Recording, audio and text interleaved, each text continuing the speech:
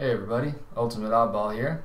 Today I'm going to talk about a common misconception regarding autistic people, which is the idea that they're not capable of feeling empathy for others. This misconception is based in a fundamental misunderstanding of the various types of empathy that exist. Emotional empathy is what people usually associate with the word empathy. It is emotionally based concern for others and the resulting expression of that concern. Autistic people are not any more or less likely to have difficulty with this. Cognitive empathy, on the other hand, can be a problem area for many on the spectrum. Cognitive empathy is the ability to infer the mental states of others through body language, facial expression, and other cues. These two types of empathy operate independently of each other.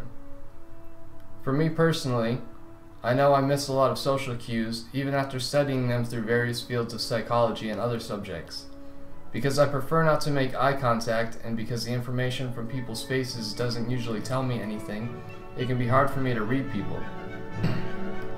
I care very deeply for others, though, and speaking for myself, I tend to feel emotions in a rather strong fashion. Having difficulty reading people doesn't mean that the person doesn't care, it just means it's a bit more difficult for them to figure out what others mean.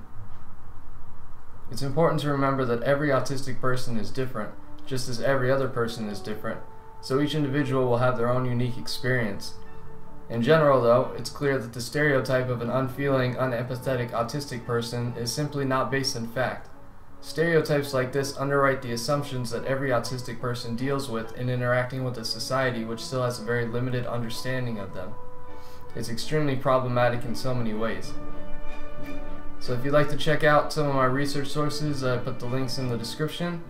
Thanks so much for watching. Thanks for coming by. Have a good day. Hey everybody, Ultimate Oddball here. If you want to stay up to date with my videos, click subscribe. I release a new video on Monday, Wednesday, and Friday. I do gaming commentary and review. I talk about my experiences on the autism spectrum, and I share my opinions and thoughts on a variety of matters. My hope is that, through my videos, I can help to dispel some of the misinformation, confusion, and negativity people have regarding autism. Thank you for helping me do that by watching these videos.